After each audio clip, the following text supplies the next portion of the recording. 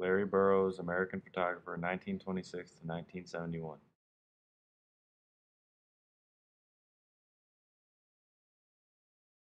Larry Burrows was a photographer during the Vietnam War. He took a lot of pictures of things to show people how the war really was. Larry Burrows was born in 1926 in Great Britain. He left school at the age of 16 to go work for Life magazine's London bureau where he printed.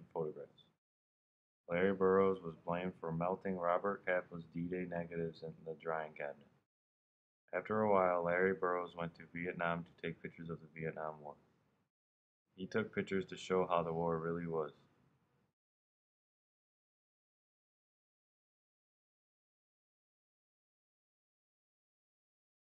While he was in Vietnam, he took pictures of soldiers that were injured and sick. Larry Burrows took these pictures to show how brutal and nasty the war was.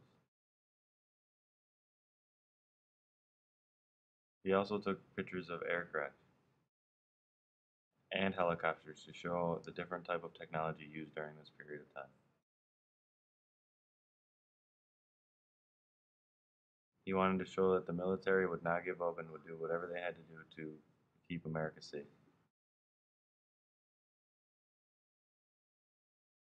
Larry Burrows' photos didn't hide anything that the military was facing. He also showed the hardships that the Vietnam people were facing. Larry Burrows was asked a lot of times to leave Vietnam so he would be safe. He was asked a lot to leave Vietnam to do other assignments. He did do these other assignments, but as soon as he was done doing them, he would come right back to Vietnam. He put himself in dangerous situations just like the military did. On February 10, 1971, Larry Burrows was killed. He died in a helicopter crash right outside of Laos. This is a picture of what they found left from his camera, all that they found from the crash. After he died, there was a book published.